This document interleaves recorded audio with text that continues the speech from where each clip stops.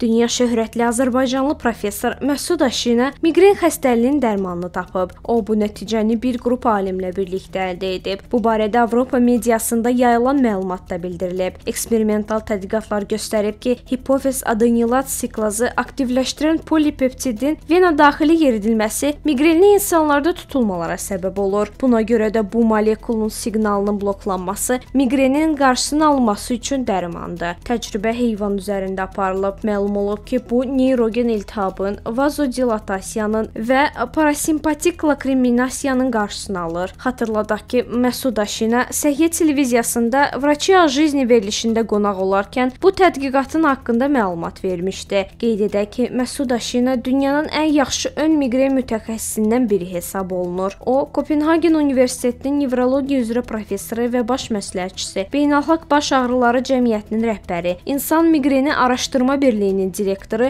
və Yaşad Fondunun Himayəçilik Şurasının üzvüdür.